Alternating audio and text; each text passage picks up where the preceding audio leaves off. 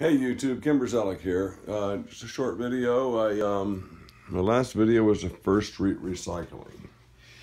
Here's a few of the things that I picked up. Of course, I did not pick this up there.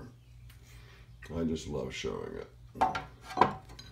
Um, brass. I'm assuming that this is bronze just by the color of it. And I've seen people turning these weight plates down. And I did attempt that and to do some finagling to get uh, the reach around it. But uh, boy, does it make a mess. I guess I'm probably not telling you anything you don't already know, which resulted in a total teardown of the mini lathe. Now, before I put it back together, I want to show you one thing that I'm particularly proud of, and that is um, the adjustments here. I fashioned this piece out of aluminum. There are four ball bearings that ride under these grub screws. And then there's two ball bearings that will go here and here for lateral adjustment. And I believe I gained mucho rigidity with that. Now, this here is what it came with. And it's my intention, it was my intention to do the same thing on this side. But um, after making the piece and making it backwards, I was rather discouraged, so I just put it together and thought I'd put it off to another day. Uh, my uh, apron chip guard, which I double face taped on, has seen some wear. But I'm going to reuse it, and I believe I'm going to drill and tap some holes to screw that on. Um, well, there's all the pieces.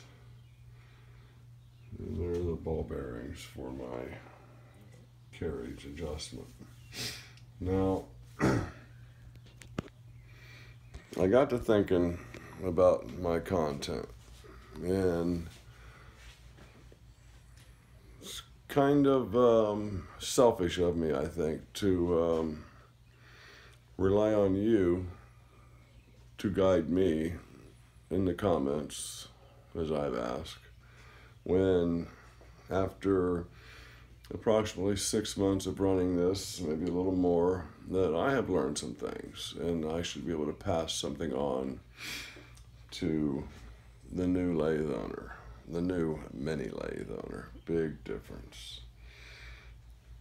I would love something in the 10 by 30 range and that'll be my next lathe. But I believe I have something to offer the person who just bought their first mini lathe.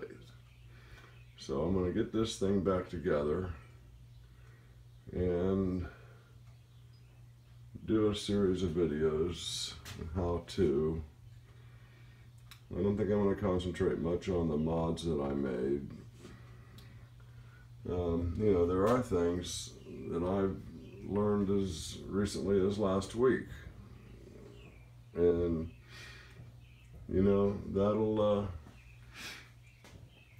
that'll be helpful to a first time mini lathe operator.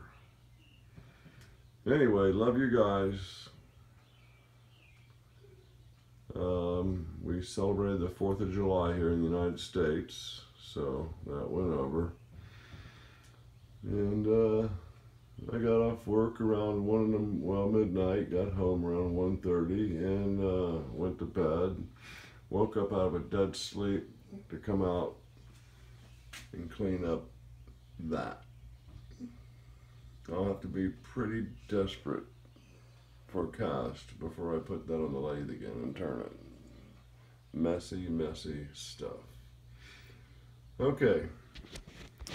Love you guys, and thank you for hitting the like button.